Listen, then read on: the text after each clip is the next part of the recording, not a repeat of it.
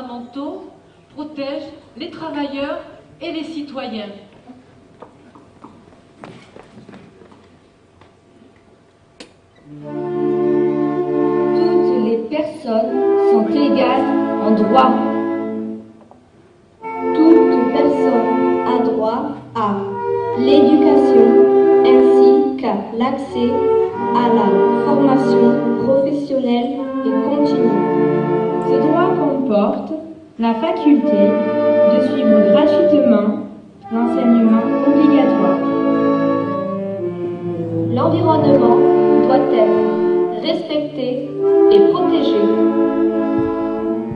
Est interdite toute discrimination fondée notamment sur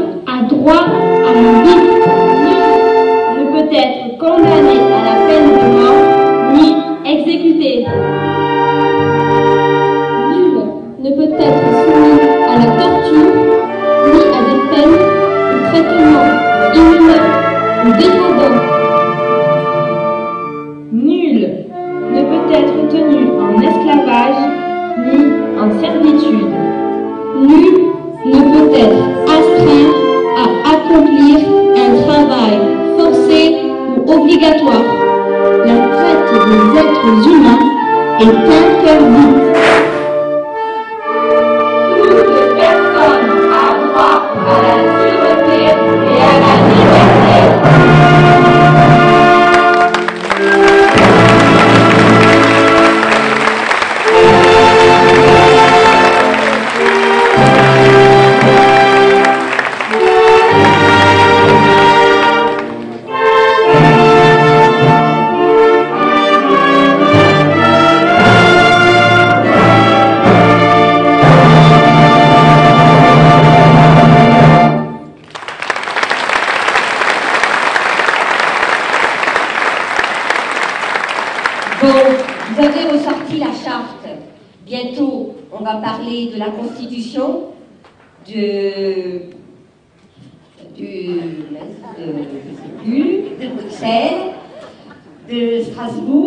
Du Parlement européen, du charbon et de l'acier, de Gasperi ou de Jean Monnet. Mais tout ça, c'est de la politique et de l'économie.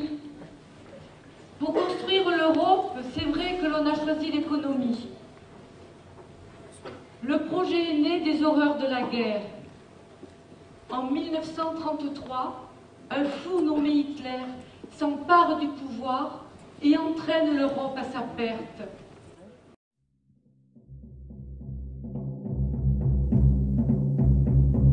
Ils étaient vingt et cent, ils étaient des milliers, nus et maigres, tremblants dans ces wagons plombés qui déchiraient la nuit de leurs ongles battants.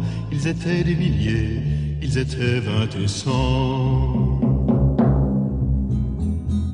Ils se croyaient des hommes, n'étaient plus que des nombres. Depuis longtemps leurs dés avaient été jetés. Dès que la main retombe, il ne reste qu'une ombre. Ils ne devaient jamais plus revoir un été.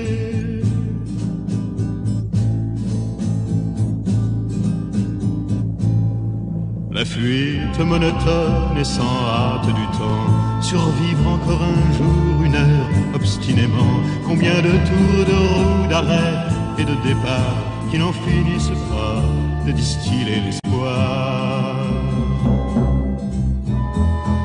Ils s'appelaient Jean-Pierre, Natacha ou Samuel, certains priaient Jésus, Jéhovah ou Vishnu, d'autres ne priaient pas, mais qu'importe le ciel, ils voulaient simplement ne plus vivre à genoux.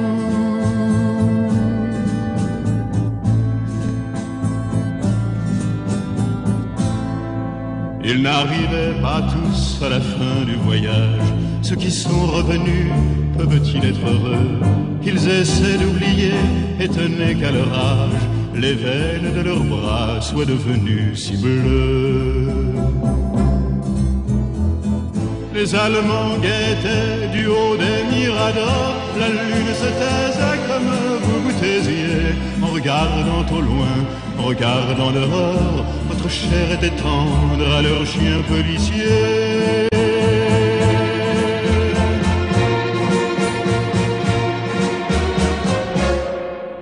On me dit à présent que ces mots n'ont plus cours, qu'il vaut mieux ne chanter que des chansons d'amour, que le sang sèche vite en entrant dans l'histoire, et qu'il ne sert à rien de prendre une guitare. Mais qui donc de taille à pouvoir m'arrêter? L'ombre s'est faite humaine, aujourd'hui c'est l'été, je twisterai les mots s'il fallait les twister pour qu'un jour les enfants sachent qui vous étiez.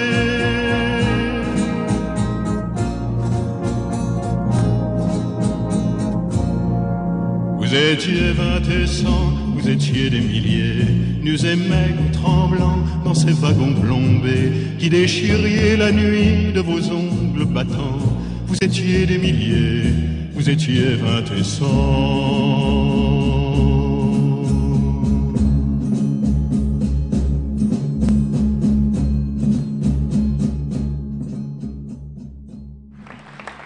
14 millions de morts. La France à feu et à sang.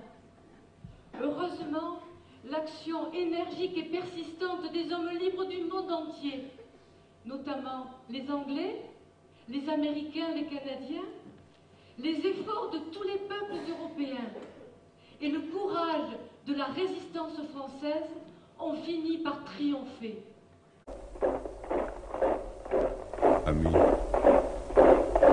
Entends-tu le vol noir des corbeaux sur nos plaines Ce soir, l'ennemi connaîtra le prix du sang et des larmes.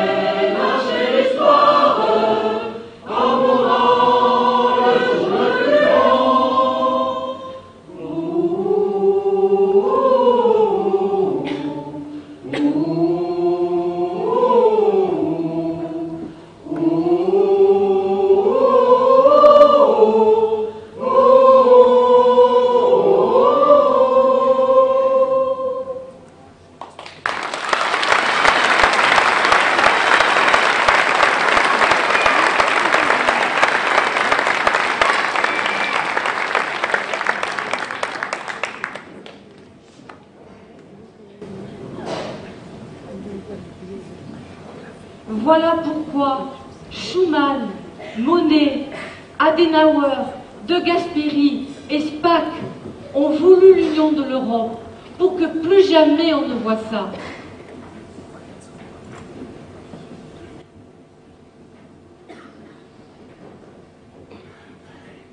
Nous devons faire l'Europe non seulement dans l'intérêt des peuples libres, mais aussi pouvoir y accueillir les peuples de l'Est, qui, délivrés de la suggestion qu'ils ont subie jusqu'à présent, nous demanderaient leur adhésion et notre appui moral.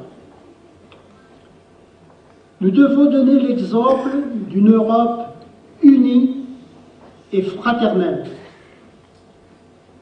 La communauté européenne doit créer l'ambiance pour une compréhension mutuelle dans le respect des particularités de chacun. Elle sera la base solide d'une coopération mutuelle féconde et pacifique. Ainsi s'édifiera une Europe nouvelle, prospère et indépendante.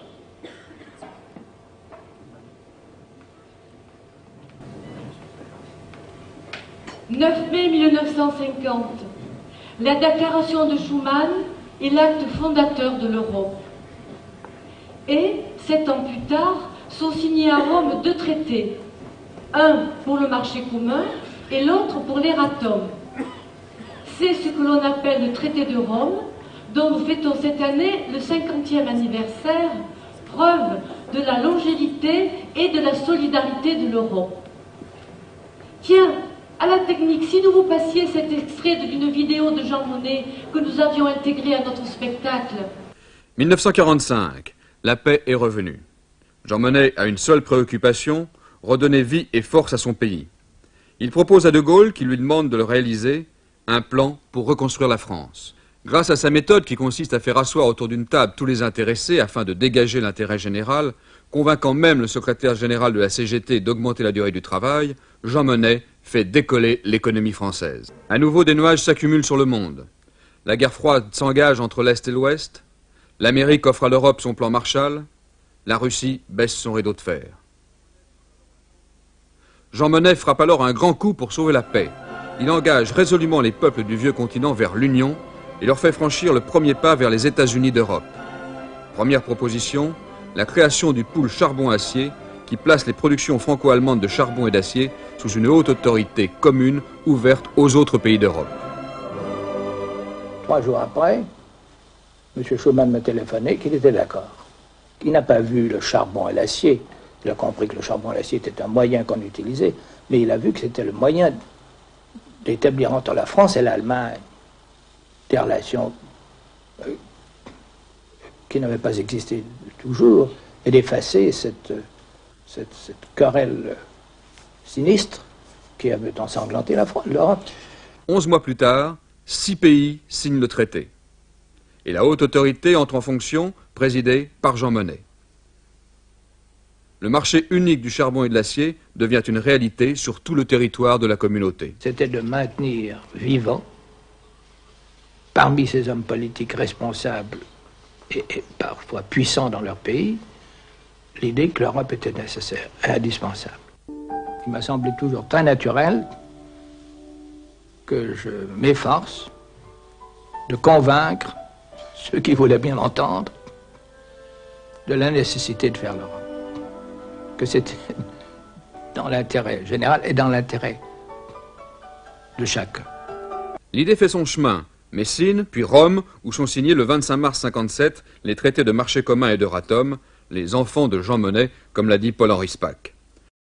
Rome, sur un continent qui se reconstruit, mais qui garde encore le souvenir brûlant des heures noires de la guerre, est un moment essentiel de l'Union européenne. 1950, 1957, c'est l'Europe et c'est la fête.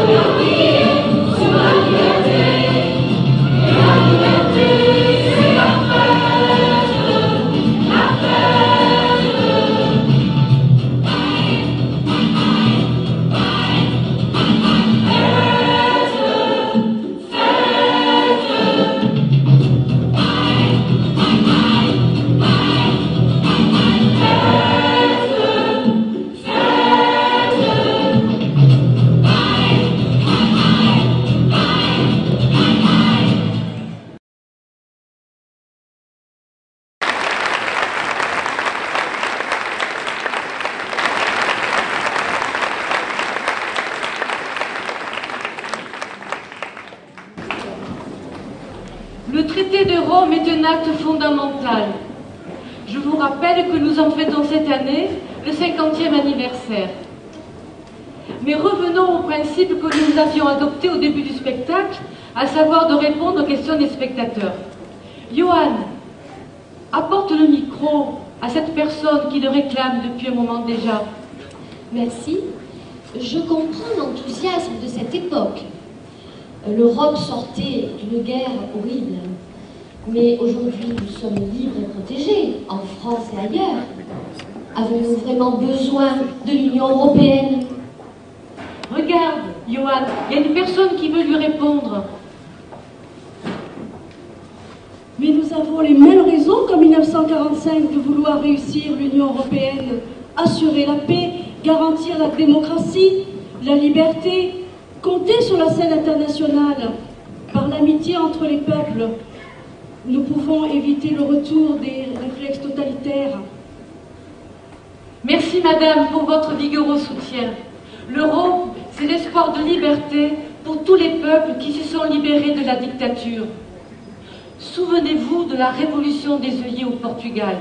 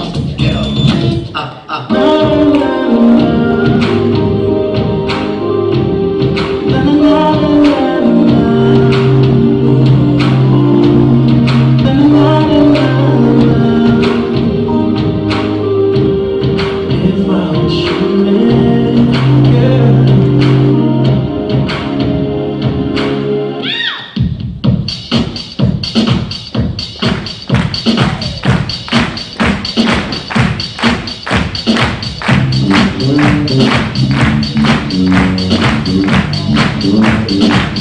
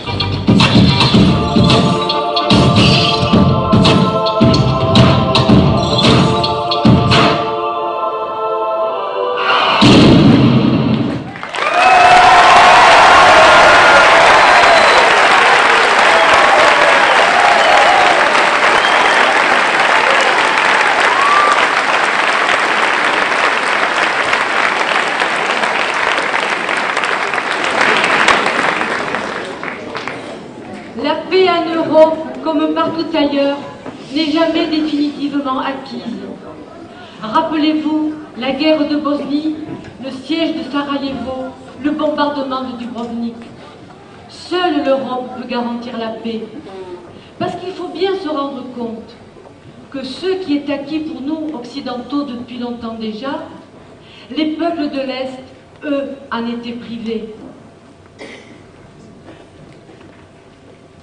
Rappelez-vous, Berlin coupé en deux, 1989, le mur abattu, la liberté retrouvée, Rostropovitch témoigne.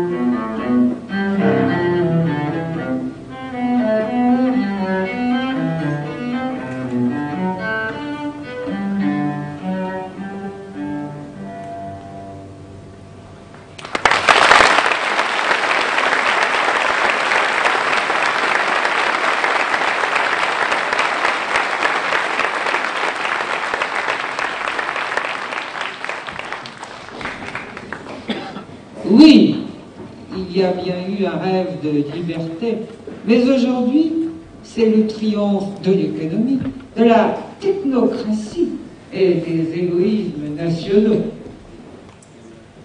Je comprends votre inquiétude, mais il nous faut bâtir l'Europe à partir des réalités quotidiennes. C'est difficile, mais c'est indispensable. C'est d'ailleurs ce que nous avions prévu de dire dans notre montage initial. Nicole, Johan, venez, nous allons jouer cette scène.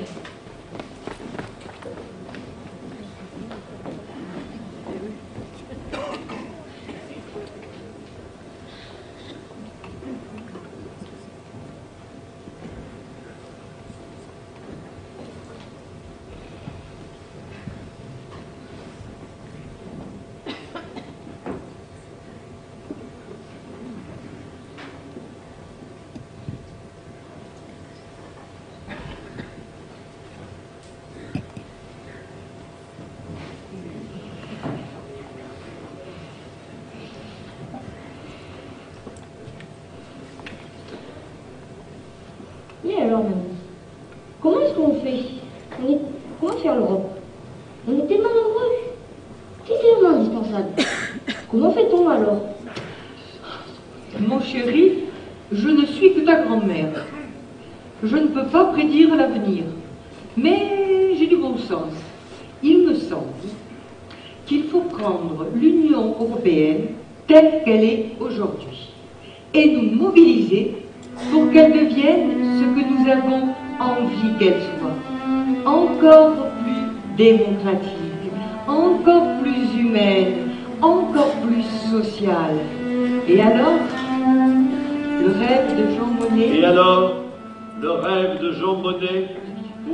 devenir réalité. De grandes voix s'élèveront à nouveau. Tous les peuples, unis dans la diversité, se sentiront solidaires d'un même destin. Je les entends, je les vois, célébrant par le chant la joie de vivre ensemble.